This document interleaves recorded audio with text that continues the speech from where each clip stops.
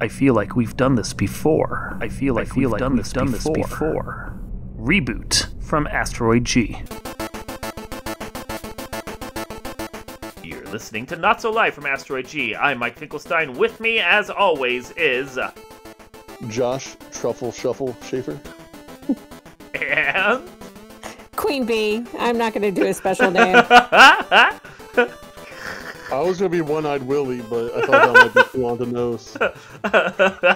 Somebody is already using that, Josh. Yeah, everyone's dick. um.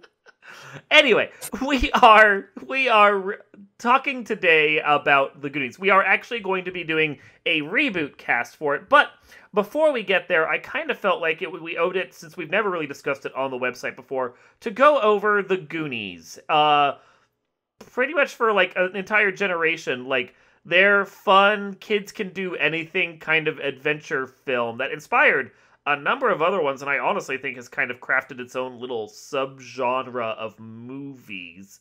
Um yeah. yeah. And you know it has had repeated attempts to create some sort of abortive sequel that's never happened. The best sequel we've gotten was like a konami game that everyone thought was a sequel but was actually a sequel to a konami game instead. Was it yeah, the Goonies huh. 2 for the NES is actually a sequel to the Goonies for the Famicom. Not for the Famicom, for, uh, uh, for the uh, MSX. Yeah. Huh. Yeah. All right, then. So, yeah, and that one is actually somehow like a semi sequel to the movie. So we're actually like three removed. It's dumb. Anyway, no one cares. the Goonies. Damn. That's true. Okay. No one cares. The Goonies is okay. Let's be honest. The Goonies isn't a good movie. It's okay. It, it's one of those nostalgic things where you know it. When I was a kid, I liked it, but now it's kind of like eh. yeah. When I was a kid, I loved the shit out of that movie, and I was like, it's so epic and fun. And then I go back and I watch it now, and I'm like, they spend 45 minutes hanging around at this abandoned place or trying to set up the plot of the movie. Then they fall into a hole like do two things and suddenly they find a pirate ship and you're sitting there going how did no one else find this fucking pirate ship Right. Yeah, like it wasn't even all that well hidden. and no one goes back for. Well, I guess they did go back to the money. Never mind. Oh, they try. No, they they the, the the the gemstones are stored in the marbles bag, and somehow the Italian like thieves never get a hold of that. But they don't go back for the money because the pirate ship sails off into the sunset. Didn't they use the money though for the uh to pay off the town or whatever? In theory, that's what's supposed to happen. Although, as people have pointed out online, they'd never be allowed to get away with that because those gems were historical artifacts and would have immediately been seized by the federal government. But the federal government would have paid them a finder's, finder's fee. fee of some kind. Of some kind. Mm-hmm. But yeah, it's yep. yeah it. And maybe they'd get uh, paid for the finder's fee of the pirate ship as well. Who knows? It's it, yeah. Anyway, so it's a dumb movie, but when you're eight, it's a fun movie. Mm. Yeah. Yes. Yes. I, I would grant that. Okay. Yeah. It, but it's it it's really just about a bunch of kids who go off on a adventure, meet some comically stupid villains, do like the bare minimum adventure steps, and then yay treasure! Like it's a, it's a kid's wish fulfillment fantasy, basically. Yeah. Yes. Yeah. It's it's like uh, you know, kids kids matter, all kids matter type of thing. Oh, yeah. not in this political climate. No. uh, but also kind of jump started the careers of like Sean Astin, Josh Brolin. Oh my God, there's uh, so many stars in there. Corey Feldman, yeah. Joey Pants. I mean, Feldman hasn't had much of a career since the other uh, Corey like got hooked on drugs and Corey Hart. Yeah. Corey Haim. Corey, Corey Haim. Corey, Corey, Corey, Corey Hart sang about wearing sunglasses at night. uh, yeah, okay, whatever. But he did wear them, and it, credit to him, he wore the shit out of them. Okay. He did. He did. so you have Jeff Cohen, who played Chunk, who is not mm-hmm. chunky anymore, by the way. No, but he will still do the truffle shuffle for his alma mater. That's very nice. Yeah. uh, Martha Plimpton was in this movie. Um, Ke Huy Quan, he was the kid who played the Asian kid. Data. Data. There was. I wanted to call him Gizmo. I'm like, that's a different movie. That was that was the character's name. That was, was the character's name before Star Trek came oh, out. Oh, okay. It, that same kid was in uh, Indiana Jones and the Temple of Doom too. Yeah, Yeah. as Short Round. He, He is, was also in X Men in 2000. No time for love, Doctor Jones. Was he really in X Men? Yes, he was. Who'd he play? No time for love, Professor X. you know, I go to the page and then he disappears off the page. That's not useful. That's not useful, IMDb. Because he was additional crew. Oh, yeah. Okay, so he worked on the film. He worked. He was. He was background. Poor token. oh, damn. So, but no, the movie is the movie is dumb. The movie is fun. The movie is dumb, and it's the thing of like it's become a cult classic. I don't know how much made honestly officially, but it's at least become a cult classic among kids of a certain age because it was played constantly on HBO and Disney Plus and before it was Disney Plus or whatever else you had. Um, that's always on cable, and we all learned to love that movie. And so they've been wanting for like thirty years at this point to make a sequel. And I have to admit, I honestly like we can reboot the hell out of it or do whatever we want, but for legitimately, I don't see how you make a sequel to that movie. I mean, it would have to be like the way that uh, Ghostbusters is going, like the original kids is uh, kids or grandkids or what have you. So it'd just be a generational thing. And they just somehow managed to find the, the pirate ship again. Pirate ship. One Eye Willy's like pirate's yacht. Yeah, it, it'd be like it'd be like the uh, I don't know. I'm trying to think. Just a random like English sailor's ship that recovered a bunch of pirate doubloons or something. The Goonies okay, and well, the quest for the n- Holy no, you have a good point. So if we're going to reboot this, Yes. let's reboot it as maybe based in England rather than America. Well, Yeah. I mean, the thing is, like, like we, we- if you're gonna reboot it, you have to take into account the other movies that have come out since then that kind of play in the same ballpark. There was what? There was the River Phoenix fi- sci-fi film, The Explorers. There was, um, The Ice monster- pirates. huh? Ice, ice. No, I love Ice Pirates, but it's not the same No, genre. no, it's not the same genre. I just wanted to say ice. You just want to say Ice Pirates, I know. Um, the Monster Squad, which is like this movie but with Universal monsters. Uh, Yeah. way way more recently, we had uh, Vampires versus the Bronx, which is like oh, I forgot yeah. Did- did you- great. you guys have Great seen that movie. Yes, it was a great film. Well, It was Josh? awesome. Did you watch it? well, yeah. I You did didn't like I. I don't. Sh- I don't share those sentiment. Sentiments. God, that movie was so much. I love when he like writes up was like, "You guys need to like not go to the party or whatever because bad things will happen." They're like, "Yo, that was mad vague, dog." exactly. Mad I- vague, yo. I saw Fast Times. I didn't need to see a sequel. oh, come on, that movie was so good. I watched it years ago though, so I mean, Vampires versus the Bronx. oh no, I thought you were talking about something else. Vamp- I was gonna say Vampires versus the Bronx just came out, dude. I haven't seen that yet. Okay, what did you think we were talking about? I thought you were talking about uh Okay, so another movie like The Goonies is like E.T., except it has aliens involved. And didn't it technically come out beforehand? Did it? I think so. so. Really, what we're saying is the Goonies is an ET genre, which might make sense because I think Steven Spielberg served as an executive producer on the Goonies. yeah, he It's- did. It was by Amblin. Yeah, it's it's the it's the Steven Spielberg genre. You get some kids There you together for an adventure. Uh, not eight millimeter. That was a film about snuff. Um, God, what was that movie? um, something eight. Yeah, Super 8. Yeah. Super Eight. Thank you. Super the 8, movie's yeah. so memorable, none of us can remember it. Um, I like that movie. But no, it's it, it's you get a bunch of kids together for an adventure uh, where they have to go off on their own and save the day, and you're basically in Spielberg land. Yeah. Yes. Yeah, that's what it is.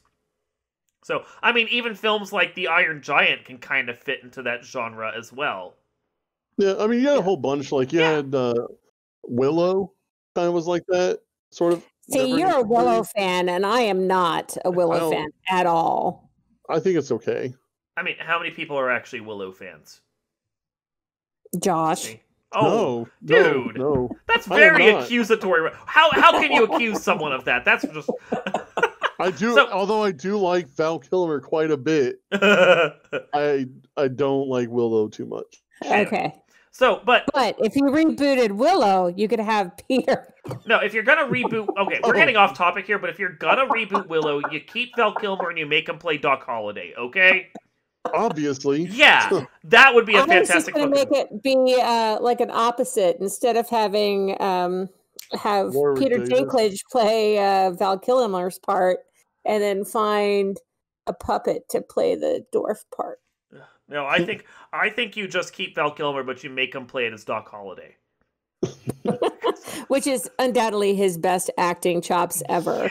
Yes. Yes. Like that. The second he I leaves the film at the like the back half of that movie, we're talking about Tombstone now. We are way off the Goonies. Okay, let's let's refocus. we are meandering here. So no, but if you're gonna do this, you have to pay attention to the movies that have come out in the genre. So whatever you do, you need to think about how is this going to play? Is this this rebooted Goonies going to feel too much like Vampires versus the Bronx or the Monster Squad or the Explorers or E.T.? So you want to set it in England. Yes, I well, I think it would be different. Well, you're more likely to get a group of different, not all white kids and an Asian. Um, you're gonna be um, more likely to get a a, a hodgepodge of different characters. They're not all gonna be white.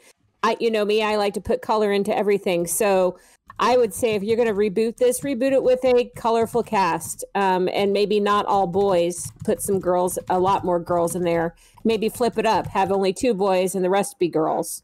I mean, I'm okay with that. that the, the, the fact is, at this point, that we're in, hopefully, especially with the Biden presidency, that we're we're all hoping for right now as we record this before it's quite quite official with all the recounts.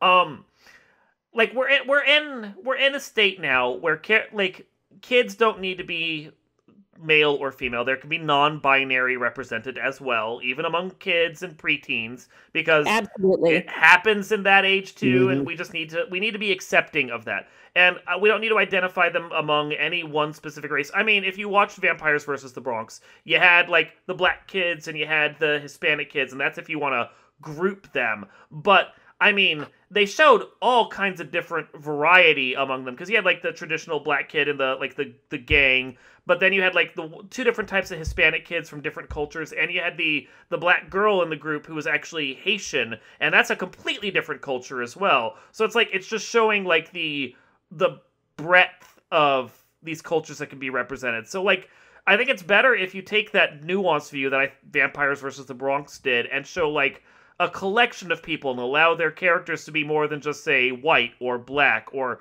token asian like short round sorry kid um you know, like that, like to to just let the casting be natural and nuanced, and maybe take some of the what the kids bring from their own personal life into it when you like let the characters become who they are. Like the Yeah. dialogue and so forth can remain the way it is, but maybe let their character background be defined by the actors. I And I- a- hundred percent, and I think um, like some of the upcoming popular actors right now are from Stranger Things, hmm which are kind of it's kind of Steven Spielberg esque. Yeah, it is just without, and that's that's in the genre as well. Exactly. Um, Millie Bobby Brown, Yeah. very popular right now. I think she would be a good addition to that. Um, Maisie Williams, I mean, she is now in her 20s, but she could play somebody younger because she's so tiny. She, she is Um, tiny. It's true. I mean, by that regard, though, Tom Holland. I mean, that, that guy is going to look yeah. 12 for the rest When- of his life. Yeah. yeah. When I saw that he was over 20, I nearly should have brick. Okay, hold on. Here's one, and this is from um the Queen's Gambit.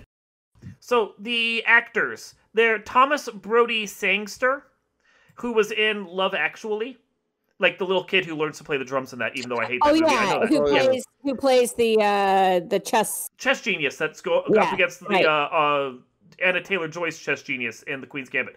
That Right. dude looks twelve. Like he Still. has yeah, he has a mustache and beard in the movie that makes it look like it was painted on with Sharpie, okay? like he cannot grow facial hair. But that dude is like 30. And you're sitting there going, dude, you still look 12, okay? You could be in the Yep. Goonies now. like Yep. even right now you could be in the Goonies. Oh my god. So Hey, it just means he's going to age well. That's all that means. He he will be the next generation's Paul Rudd. Is basically what it is. When he actually hits sixty, he's gonna finally look like he's thirty. How about how about this How about Paul Goonies Rudd? is Nope. right? With Paul Rudd in there. Um, I, well, I was going to bring in another favorite actor. I was going to say the kids accidentally end up killing John Wick's dog. oh, and then Keanu Reeves has to come and like hunt them all down. I, I you know, at that point, that'd at, be great. at that point, I'm I- I'm putting the odds on uh Paul uh Keanu Reeves at that point. Like the kids Right? are dead. Exactly. Sorry. No, but anyway, if we're being honest, so British set movie with a nice diverse cast. What's your plot line? Well, the reason I wanted in? to go England, no, no, no. The reason I wanted to go England is because you have a lot of history there. So you might not go for a pirate ship, but you might be able to go for like an underground Well, um Yeah, you- you- World a treasury, kind of or I mean, even if you wanted to still go the pirate ship route to keep some of the beats the same, just by the very fact of privateers being in like integral to the British uh, colonial era, like Right. One Eyed Willy isn't even going to be a pirate at that point. He would more than likely have been a privateer. Whether or not he went rogue and tried to run off with the Empire's money is another matter altogether. But you could also do Australia as well. Doesn't have to be England, could be Australia because you could get more giant spiders. and giant spiders. Yeah, New like- Zealand. Yeah, no, that would be a fucking scary movie. Is uh, the that they they fall into a hole and realize they fall into one of the pit spider things. No, thank you. End of movie. yeah, they all dead. think you eat Sorry, guys. I mean, I know the deleted scenes of the original movie had a kraken in them, but Jesus, you're taking it too far there. Shit. I just want to see children get eaten. That's. Apparently, fuck. Holy crap. I'm the only person who's driving down the road and I see ver- various children of various ages playing, and I go, "Ooh, that one's fat. That'd be good right there." wow. Josh, what's your idea for a Goonies movie? I don't know. Um, You did. You said you had ideas. I do have ideas, but I think the plot would largely be the same. I'm not a big fan of the pirate ship, but Okay. you'd still have to have some sort of uh, fantastical legend attached to it, and I think pirates are the easiest. National Treasure, but Um, for kids. Yeah, Yeah. I mean, National Treasure was was pretty much Goonies too. um, Goonies, but with adults. Yeah. Yeah, Yeah. but um, you know, modernize it a bit. Uh, I don't, I don't think it needs to be stuck in the '80s because, you know, I I remember part of the '80s and I wasn't a fan. So, but I mean, um, I mean, if you you you could set it in like the 1950s, and it would have a very it vibe. yeah, I mean that'd be fine too. But I kind of like I think it's in order to for it to achieve, uh, I guess, uh, money. Yeah. Um, the best thing to do is put it in the 90s so you'd have all the millennial kids or Mhm, parents mhm. i guess go see it but Yeah. um or mod just modern day but um i think it's uh it, you couldn't modernize it too much because kids just don't kind of go out and just roam like they used to Well, feel like- instead of instead of your your basic thieves, which is basically what those guys were, you know, they're they're what basic bank robbers. Uh huh. yeah You'd probably have a lot of you'd probably have cartel or Yeah. mhm. um some bigger a bigger fish. I think would be a better villain. I mean, Yeah. the, the other way to do it is not try and court the um that whole nostalgia aspect. I mean, you could go a completely different route and just set it way far in the past, like late 1800s, and have like kids in a border town get catch wind of like the haul from maybe like a train robbery or something hidden in the mountains or something like that from like decades earlier even. Like there are routes you Mm. could take that would uh, that would still feel like goonies while explaining away the dumbness of the pirate ship somehow hidden in a cove that no one's found even though it's really fucking easy to find it. Yeah. Yeah. So no i like the idea i like the idea of changing the decade because yeah the 80s 80s doesn't need to be th- here but i think you're uh, i think you are right you either court the nostalgia of like the 90s and the 2000s or you update it to you know or or you set it back further like the Mhm. 20s or the 80 the 1880s or something Yeah, and you can have it uh, generational. And as far as casting goes, um, Tom Cruise has to be Sloth. Oh my god. You know, he has proven he will do things under deep makeup. no, and that's what I'm saying. Like, Yeah. the first time I saw Tropic Thunder, my dumbass didn't realize that was Tom Cruise the entire movie until the credits. So, like, he's put him in a shit ton of makeup. I just want him to do the hey you guys, and then that's it. And then I think you have to cast Peter Dinklage as the lead of the criminal group that's trying to like You, go after no him. joke. Yeah. That was literally what I was about to say. Yep. Yeah, well, because you know he would relish playing a villain, especially if he got to put on this like bad Western drawl the whole time. Oh, Yeah. like oh, I mean, yeah, set he would it, definitely do that. set it in the two thousands. two was thousands. thinking Still give him a Western mafia. drawl, huh? I was thinking Russian mafia. I just want to hear him have like, a thick Russian accent. But just like, and I want the like. I didn't like the bumbling criminals in Yeah, the Goonies. no. I think that trope's a little too much. I want him to be like Ruthless. cold and calculating yeah, and yeah, kidnap a kid or two. yeah. Like, just then- beat the shit out of someone. Like, But but here's what you do. Let just just like put a capper on that. You make him Russian, and you have this whole adventure, and then he gets defeated by the kids and like turns tail and runs, and then end of the movie mid credit sequence. John Wick shows up, and it's all in the same universe. That's how you bring John Wick in. Yeah, Nice. yeah, Idris Elba can be one of the parents. yeah. obviously, yeah, just have him do his his uh his uh South London accent that he does for Luther. Exactly. Yeah, He oh, it'd could be so be. Millie Bobby Brown's dad. Oh, there you so go. Good. So good. I mean, they've both been on Netflix recently for shows. I'm sure they could both be contracted for it if Netflix It- picks up this show. Exactly. Yeah. Exactly. Yeah, it'd be so good. I want Haley Joel Osment in it too for some reason. You know, he he does play a fairly good villain. Um, Yeah. Did you guys see what was that movie? He's in a movie recently that uh well, it's a, it's like a it was a series and it had like three seasons, I think. Future Man, that's what it was called. Oh, really? Um, yes, Haley Osment is in there, and he's he's essentially the bad guy. So he, he actually plays a pretty good bad guy. Okay.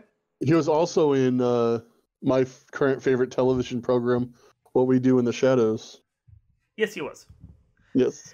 He always kinds of played the same like weird Weasley character now, like that little kid from like The Sixth Sense and so forth. That everyone's like, he's going to be an Academy Award winning care guy and like have this long career. No, he's like, he plays the weirdest stock characters now.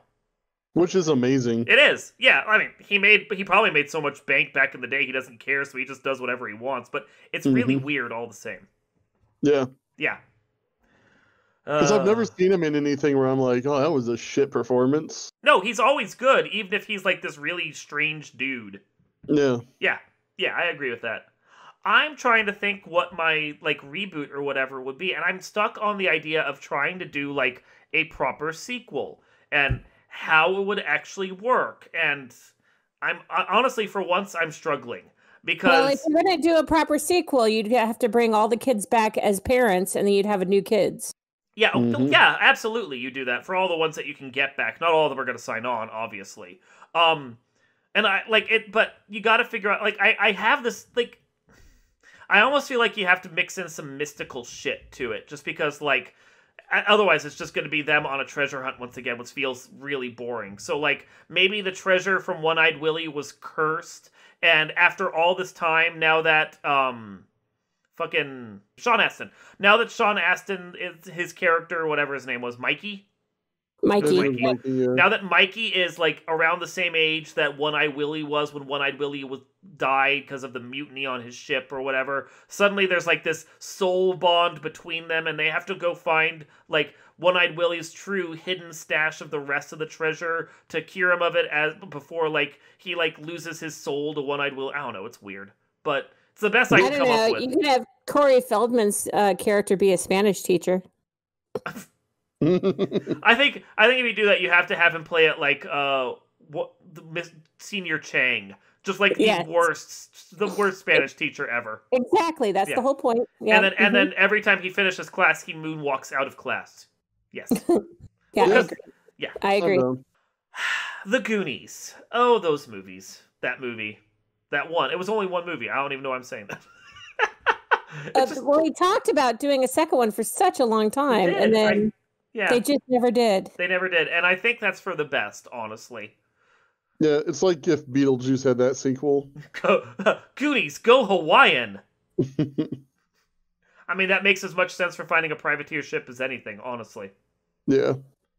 Yeah, but I, I do I do agree that it, it can't be another pirate ship, or if No. it's going to be tied to the pirate ship, it has to be something completely different.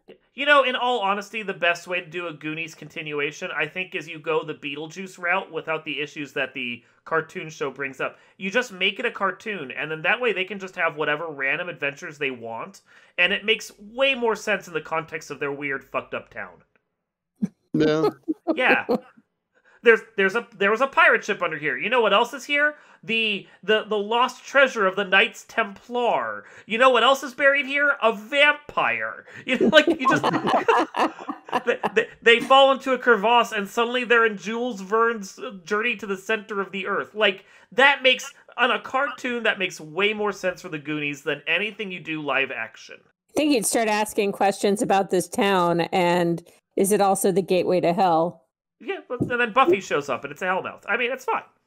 Yeah, yeah, it's perfectly fine. I The mean, pr- Winchesters show up. It'd be fine too. yeah, you, you ba- like basically the show I'm imagining is like Erie, Indiana, that like what one or two season show that aired during Saturday mornings back in the day, and it was basically Goonies but mixed with the X Files, like that kind of thing. But again, they've already made that, so I don't know. I think the Goonies needs to remain the Goonies and just not come back. Not come back? not come back. No.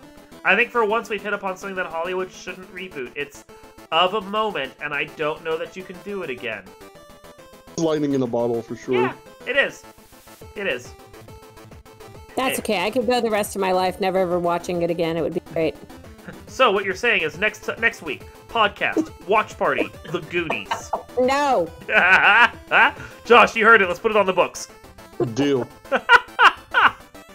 All right. This has been a kind of a reboot, I guess. Uh, from Not So Live from Asteroid G. I am Mike Finkelstein. On the truffle shuffle. I don't think that's what you said before. It was. He said he was Josh Truffle, Truffle Shuffle Schaefer. Mhm. Okay. And Queen Bee.